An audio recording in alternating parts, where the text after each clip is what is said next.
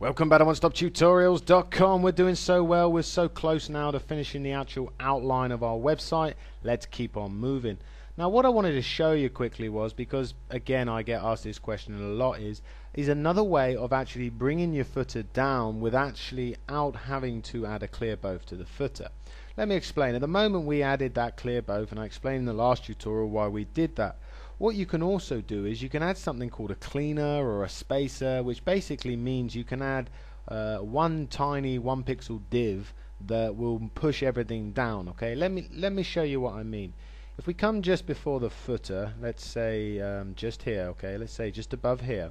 What you can do is you, I call them spacers or cleaners, but what you can do is you can do a div id, okay, cleaner okay? And let's close that there and let's close that there okay? Again it doesn't matter what name it is it's just what I call it.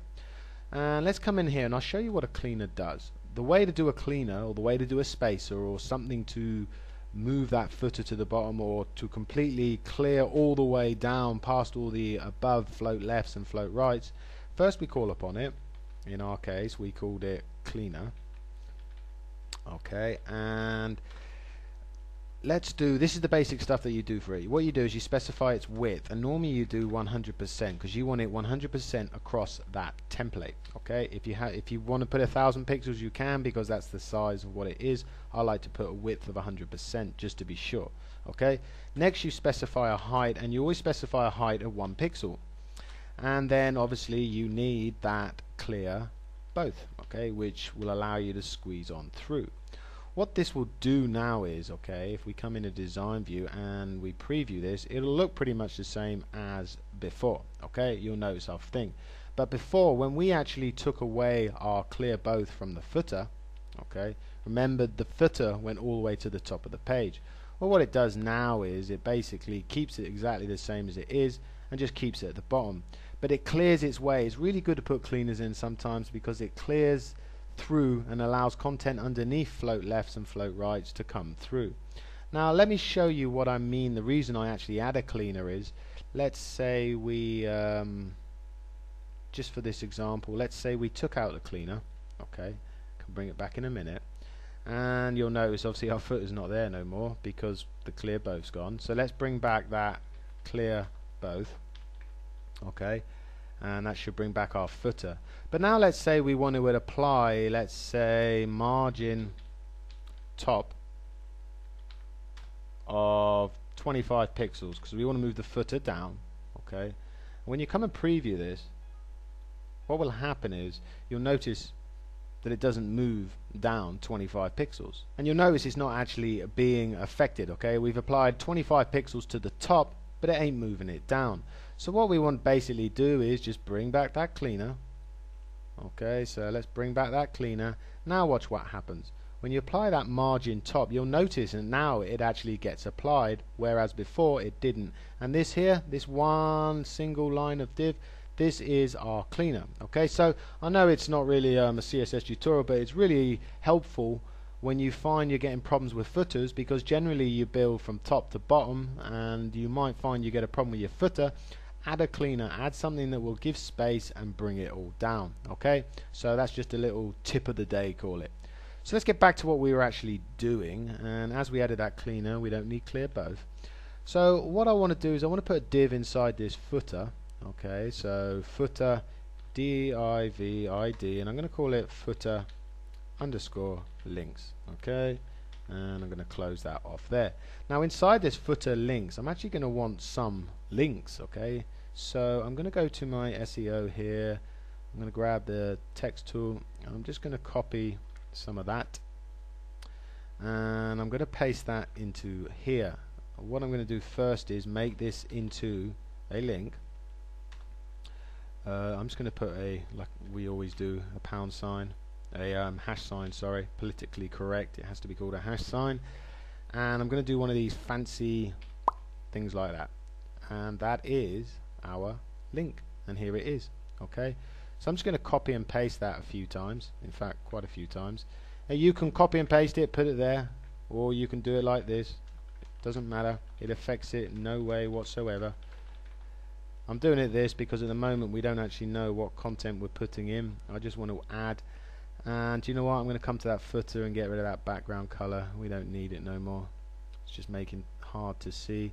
I might put one more in where is it? Um, HTML let's just put one more in.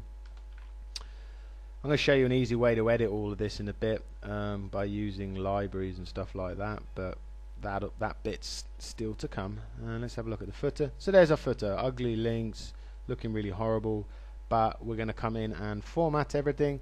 And then underneath that div called um, underneath the div I want to make sure I'm inside of the footer here. So leaving one div at the bottom I'm going to do a div ID and this is going to be in fact this is going to be copyright.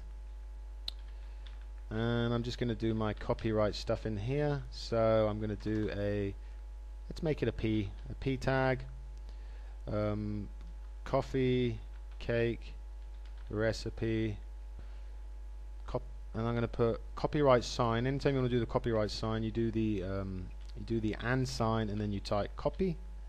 That's the copyright sign.